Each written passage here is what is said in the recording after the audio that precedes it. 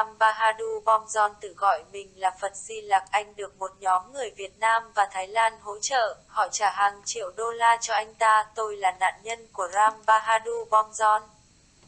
Tôi đã đến Nepal để phục vụ anh ấy vào năm 2011 vì tôi nghĩ rằng anh ấy đang đi trên con đường tâm linh, tôi đến từ châu Âu. Anh ta đã bắt cóc tôi vào năm 2012 và xích tôi vào một cái cây trong 3 tháng. Một người phụ nữ khác cũng bị xích gần tôi, chúng tôi đã bị tra tấn vô cùng mỗi ngày, chính bom giòn đã đánh tôi.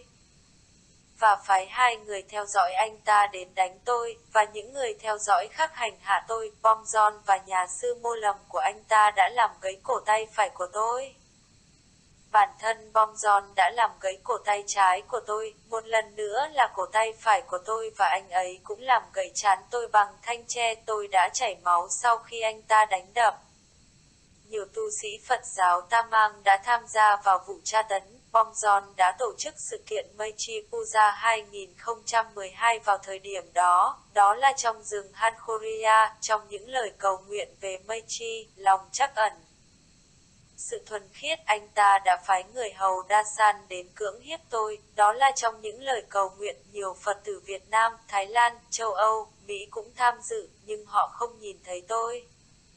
Tôi bị giữ trong khu nhà riêng của Bom John, nhưng tôi chỉ cách Meiji Puja 5 phút đi bộ, các nhà sư Tamang đang bảo vệ tôi khi năm nhà báo đến tìm tôi. Bom John đã ra lệnh cho những người hầu của mình tấn công họ và phá vỡ máy ảnh của họ. Cảnh sát đã không giúp chúng tôi, đã không giải cứu chúng tôi. Cảnh sát được Bom John mua chuộc 12 năm.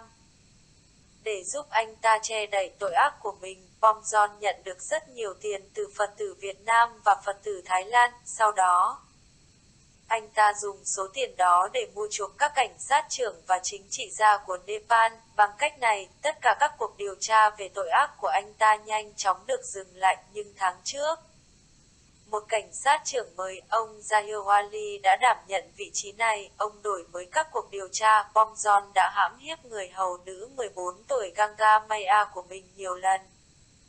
Bom Giòn cũng đã giết người hầu tu sĩ già của mình là Sancha Lan Hoai Hoa vào năm 2015, hai nhân chứng đã nhìn thấy nó. Ngoài ra, hai nữ tu Phật giáo trẻ Chinimaya Tamang và Phunmaya Rumba đã biến mất sau khi họ trở về sau chuyến thăm ngắn của gia đình để phục vụ Bom John vào năm 2014 và 2015. Họ đã phục vụ ông nhiều năm rồi nhà sư đã giúp bom John bẻ cổ tay phải của tôi, mô lầm cũng biến mất sau khi bom John gọi anh ta từ gia đình để trở về với anh ta, nhiều người đã bị bắt cóc giam cầm, đánh đập tra tấn.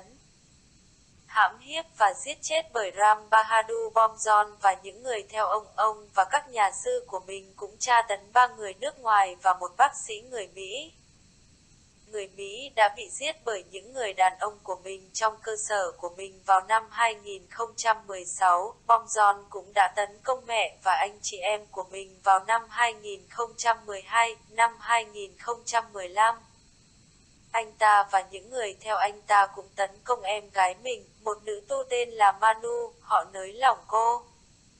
Cô đã bị giam giữ một năm sau khi bị đánh đập và chết vì vết thương trong khu tập thể của nhà sư Bom John. Bom John từ chối cho phép cô được điều trị tại bệnh viện hoặc gặp gia đình. Hiện tại lệnh bắt giữ đã được ban hành ở Nepal chống lại Ram Bahadur Bom John, nhưng anh đã bỏ trốn. Nhiều người Nepal nghĩ rằng Bom John đã bỏ trốn sang Việt Nam hoặc Thái Lan. Xin lưu ý rằng anh ta là một tên tội phạm nguy hiểm, vợ Việt Nam, cái Việt, đàn ông và trẻ em Việt Nam đều gặp nguy hiểm, nghi lễ bí mật của bom John bao gồm sự hy sinh của con người. Anh ta có được sức mạnh ma thuật đen từ việc tra tấn, hãm hiếp và giết người. Kế hoạch của ông là làm ô uế Phật giáo. Tôi kêu gọi tất cả Phật tử Việt Nam, Chính phủ Việt Nam và công dân Việt Nam không ủng hộ tên tội phạm nguy hiểm tự xưng là một vị thần và người đã báng bổ tên của Phật Gautama. Các nhà sư Phật giáo Nepal đã nhận ra rằng Bom John không phải là một đạo sư và ông đã không đạt được giác ngộ. Ông hiện đang gửi các tu sĩ của mình, những người mặc áo choàng màu xanh, để phá hủy các ngôi chùa Phật giáo tại các ngôi làng của Nepal. Họ đang đốt kinh Phật sách cầu nguyện. Họ ném những bức tượng Phật linh vào thùng rác và buộc dân làng phải tôn thờ bức ảnh của Ram Bahadur Bomjon. Làm ơn, người Việt Nam, hãy dừng lại để ủng hộ Ram Bahadur Bomjon người tự gọi mình là Maitreya Guru, Mahan Guru, Mahasambodhi, Dhamma Sangha và nhiều tên khác xin đừng làm ô uế tôn giáo thánh của Phật giáo. Xin hãy giữ Phật giáo nguyên vẹn khỏi dị giáo nguy hiểm này, xin đừng chặn cuộc điều tra của cảnh sát chống lại Ram Bom John bằng cách cung cấp cho anh ta số tiền khổng lồ quyên góp. Hãy trở về với truyền thống Phật giáo cũ, Bom John là con đường hủy diệt Phật Pháp ở Việt Nam và thế giới.